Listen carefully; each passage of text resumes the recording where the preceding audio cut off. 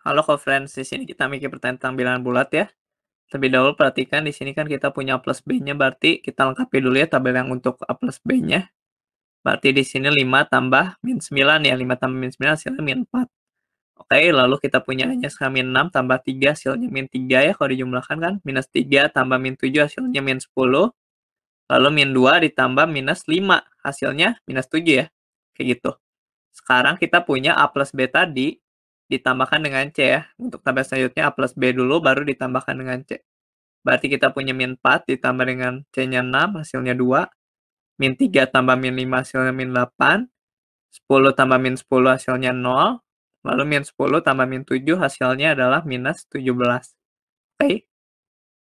Sekarang yang B tambah C ya, berarti untuk yang ini min 9 tambah 6 ya. Hasilnya adalah minus 3 lalu minus 3 tambah 5 hasil minus 2, minus 7 tambah minus 10 hasilnya 3, lalu minus 5 tambah minus 10 hasilnya minus 12, 15 ya, minus 15, kayak gitu kan.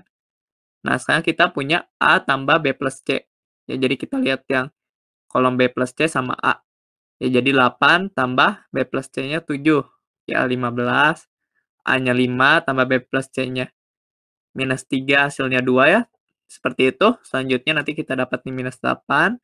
0 ini minus 17. Bisa dilihat bahwa A plus B dulu baru ditambahkan C. Sama saya dengan A ditambah B plus C yang sudah dijumlahkan ya. Seperti itu. Lihat dari nilai tabelnya ya. Ini kan sama semua.